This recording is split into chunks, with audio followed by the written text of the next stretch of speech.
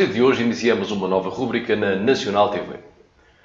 Com a entrevista da semana, teremos a cada semana um convidado diferente, numa entrevista que vai certamente valer a pena acompanhar. Hoje o entrevistado é Daniel Guimarães, ele que na passada semana foi galardoado pelo grupo Os Alvinegros como o atleta profissional do ano em 2018-2019. Bom dia, Daniel. Bem-vindo à entrevista da semana. Bom dia, muito obrigado. Satisfação imensa estar aqui. Começamos precisamente por esse eh, prémio que lhe foi atribuído pelo grupo Os Alvinegros. Eh, que sensação ter recebido esse prémio? É, fiquei muito feliz. É oportunidade única na minha vida, né? No meio do futebol. É, consegui fazer um bom trabalho, graças à minha equipe também que me ajudou. Mas foi bom, fiz, um, fiz o meu melhor né, pela equipe, pelo Nacional e fiquei muito feliz pelo reconhecimento. Curiosamente, o prémio vem num ano em que, em termos desportivos, não terá sido eventualmente o melhor. Eh, a equipa de divisão, o Daniel sofreu muitos golos. Eh, como é que explica isso? É bem difícil até de explicar, né? Mas a gente tenta fazer sempre o melhor em prol do clube, né? Que é o clube que eu defendo, que gosto muito, tenho muita satisfação em estar jogando com essa camisa. Por isso a gente tenta fazer o melhor para poder ajudar o clube. É, o ano passado não correu bem, no ano anterior tinha corrido mesmo muito bem. É, campeão da, da Ledman Liga Pro, subida de divisão, é, foram sensações certamente muito positivas e momentos muito bons. Foi, foi muito bom, distintos, né? Que um ano a gente sobe, o outro infelizmente foi o descenso, mas é, tem coisas boas, tem que tirar as coisas boas, as coisas ruins também, serve de aprendizado que a gente consiga agora guardar isso para a vida. Esta é a terceira temporada do Daniel Guimarães eh, no Nacional, eh, uma temporada que ainda vai no início, eh, mas temos já 74 jogos com a camisola alvinegra. É sinal que esta sua primeira experiência fora do Brasil está a correr muito bem. É, foi, foi muito bom, né? Fiquei muito feliz com a oportunidade de jogar no clube grande da Europa, né? Que era um sonho, talvez o sonho de quase todos os brasileiros lá que estão lá no Brasil mas tive essa oportunidade de estar aqui e quero aproveitar o máximo que eu puder, porque eu sou muito feliz aqui, minha família é muito feliz aqui, então isso contribui para que eu possa sempre fazer o meu melhor pelo Nacional. Como é que alguém de Minas Gerais eh, vem parar a Madeira aos 30 anos? Pois é, é, aconteceu, né? Tive essa oportunidade, igual eu falei, não quero perder.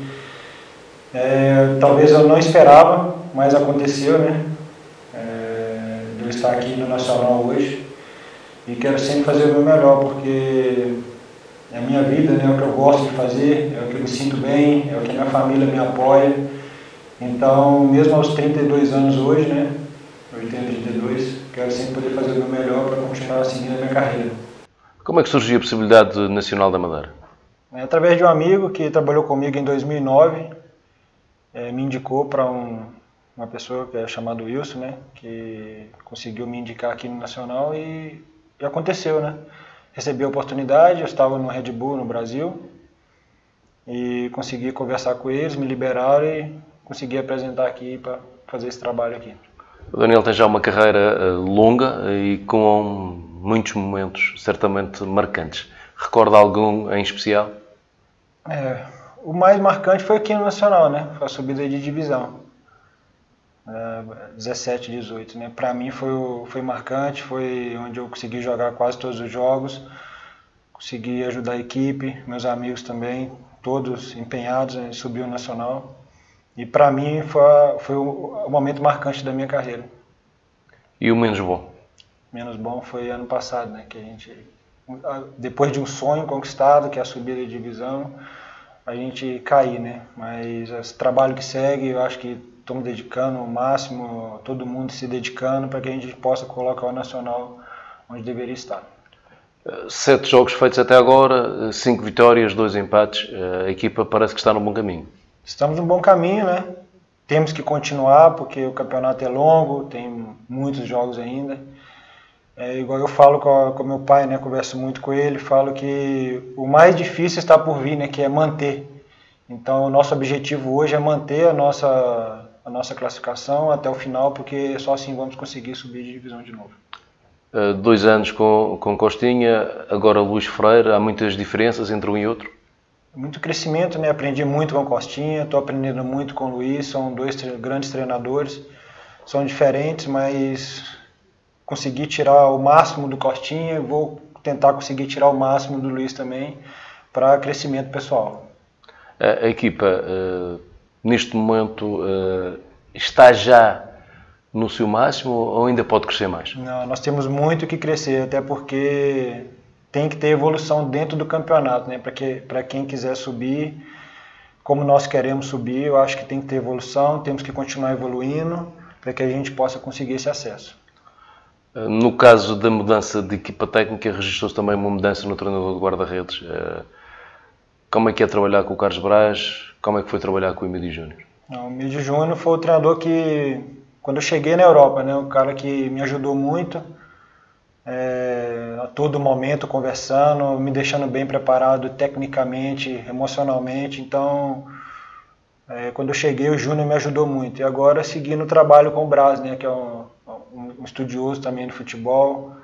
Está é, tá sendo muito bom trabalhar com ele. Aprendi muito com o Júnior, estou aprendendo muito com o Braz também. E agora é seguir o caminho para que a gente possa conseguir esse acesso, que é o objetivo principal aqui hoje no clube. Relativamente ao Júnior, fica sempre, certamente, uma, uma grande amizade e também um apoio incondicional do Daniel à, à pessoa Emílio que atravessa um momento difícil. É, é um, é um amigo que eu fiz no futebol, falo com ele semanalmente, quase diariamente, saber como ele está. E ele se preocupa comigo, saber como eu estou me sentindo dentro dos treinos, é, emocionalmente também. E isso para mim é importante, porque eu mantenho um contato com uma pessoa que foi muito importante na minha chegada aqui na Europa.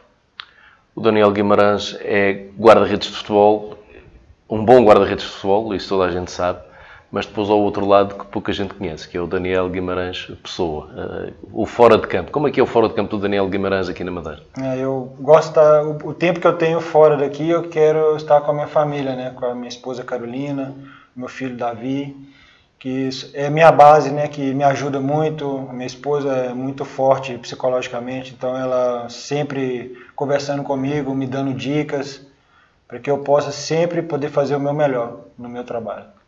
E, e em casa, faz o quê? Nos tempos livres? Eu, eu gosto muito de ficar com meu filho, né? Meu filho agora está com dois anos, então está cada vez mais interagindo mais com, comigo e com a minha esposa, então Está sendo muito gratificante esse sonho realizado, que tem um filho, nasceu aqui na Madeira também. Então, para mim, estou aprendendo muito com ele, ele tem muito a me ensinar. Então, o tempo que eu tenho, eu quero aproveitar o meu filho, porque eu sei que quando ele começar a estudar, seguir os caminhos dele, ele vai. Né? A distância vai ser. Aproveitar agora o momento. Aproveitar o momento com ele agora. Uh, o fim da carreira ainda está longe, uh, certamente irá ficar por cá mais alguns anos, uh, mas já pensou no que é que vai fazer quando voltar ao Brasil? Bom, eu. O pessoal sabe, né? Eu gosto muito da roça, né? Do, do sítiozinho, da fazenda, então. Meu projeto é seguir lá, seguir mexendo com o meu boi lá, com minha, minhas vaquinhas, então. Meu projeto é seguir nesse ramo aí, agropecuário. Neste momento eh, já tem a sua, a sua fazenda lá no Brasil, com algumas cabeças de gado. Eh, como é que é gerir isso à distância? Bom, meu pai é, faz tudo para mim, né? Meu pai é um paizão. O que eu quero ser para o meu filho é muito do que meu pai é por, por, por mim, sabe? Meu pai é um exemplo para mim. Tudo que eu preciso, meu pai faz para mim, mexe tudo para mim. Todas as minhas situações lá no Brasil, ele que está por trás. Então, eu fico despreocupado, porque tudo que tem para fazer lá, meu pai faz com dignidade, com correção, com, com perfeito exemplo. Que sonho de vida tem ainda o Daniel? Hoje, é, eu estou realizando um aqui hoje, né, que é, está aqui, mas é que meu filho seja um grande homem, né, e que ele possa entender tudo o que eu quero passar para ele, porque era um sonho ser pai. Eu sou pai hoje, então eu quero que ele seja um grande homem, que é um dos meus maiores sonhos, né? Que ele seja um homem respeitador, um homem honesto, que saiba aproveitar a vida também. A terminar, uma mensagem para os adeptos Nacional. É, que nos apoiem, que nos, nos ajudem, que nós vamos precisar muito de vocês pode contar com o trabalho de todo mundo, porque é um grupo unido, é um grupo que está trabalhando diariamente, incansavelmente. É, pode ter certeza que não vai faltar nada de nenhum jogador aqui do elenco, eu conheço todo mundo, conheço bem todos. Não vai faltar nada de ninguém para que a gente possa conseguir esse acesso, que é o nosso objetivo. Todos nós estamos trabalhando incansavelmente por esse acesso. Chegamos assim ao fim da nossa entrevista de hoje. Obrigado pela sua companhia. E não se esqueça, de hoje a oito dias encontro o mercado para mais uma entrevista da semana na Nacional TV.